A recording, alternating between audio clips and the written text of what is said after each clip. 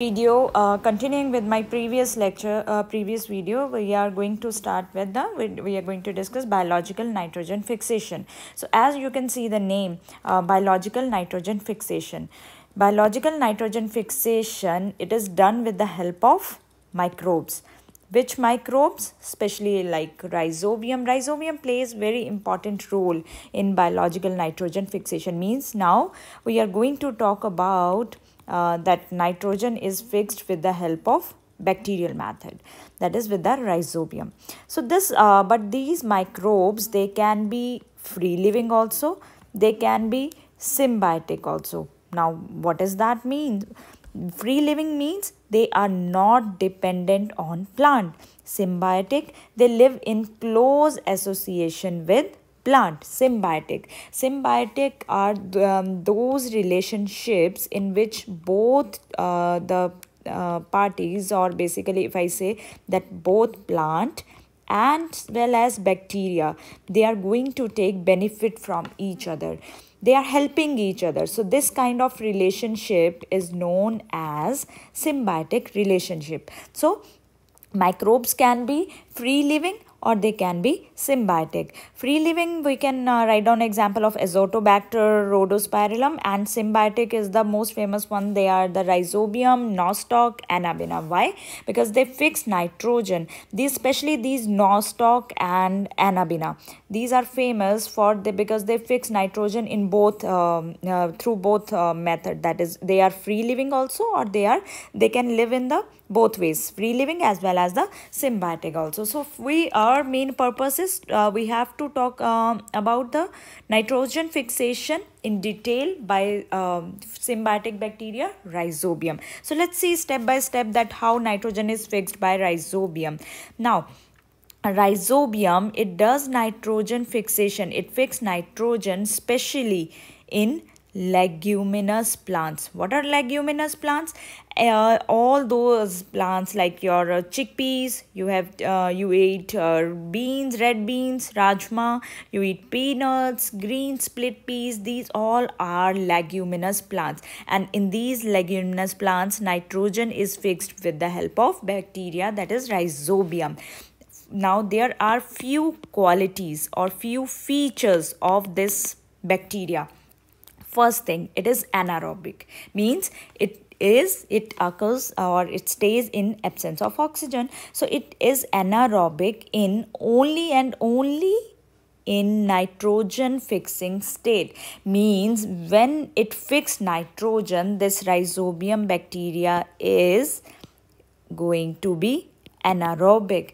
Otherwise in normal state it is aerobic bacteria. So rhizobium, it is aerobic bacteria but become anaerobic when it has to fix nitrogen it has enzyme. Why it is so special? Why we NEET to talk about this rhizobium in detail? It has special enzyme that is nitrogenase. And nitrogenase is molybdenum iron protein. Very very important question from your need point of view that nitrogen um, nitrogenase is molybdenum iron protein. It is a complex of molybdenum iron protein. And this the why it has to be anaerobic in nitrogen fixing state because this enzyme can work only and only in anaerobic condition. So this bacteria also undergo or also change its condition from aerobic to anaerobic.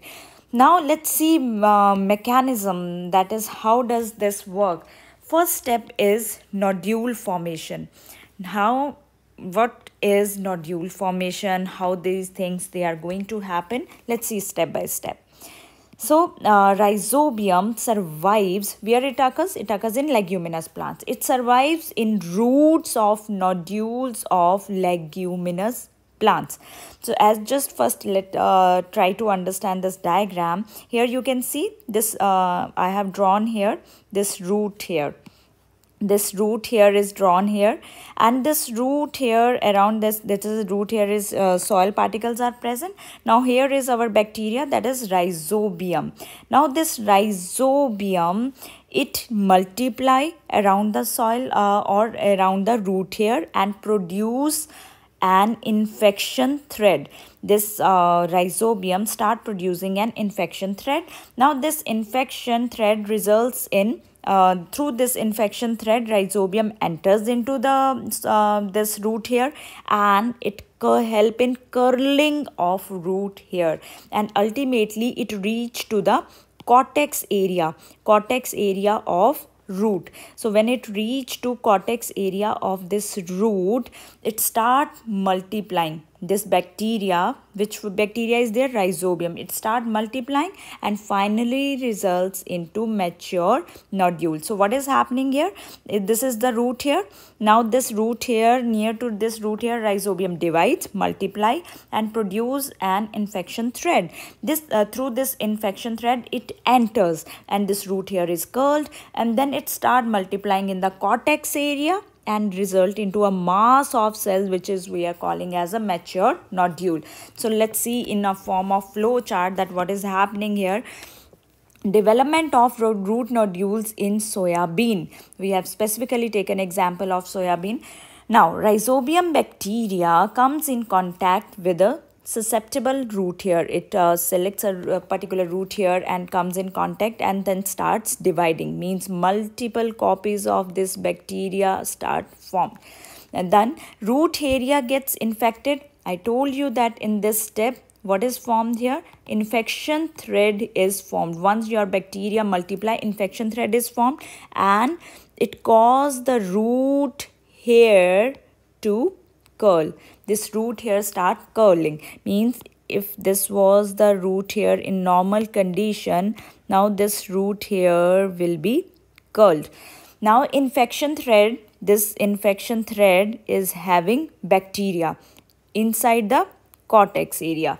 This bacteria will modify to bacteroids into the inner cortex. Now and there it start dividing. So division of these cells give rise to a mass that is called nodule formation. So mature nodule mature nodule is uh, now going to compete with the vascular tissues. Vascular tissues means xylem phloem which are going to transport uh, plant uh, that food and water and it start forming a direct connection with the plant. So who is getting help?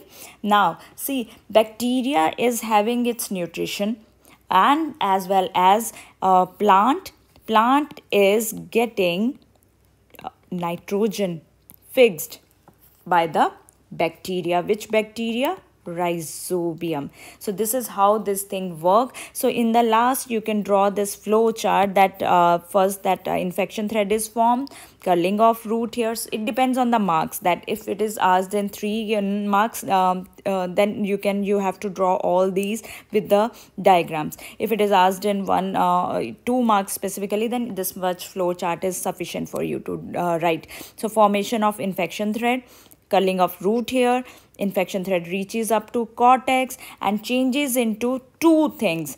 I'm i'm leading you here or i'm leaving you here with the two points.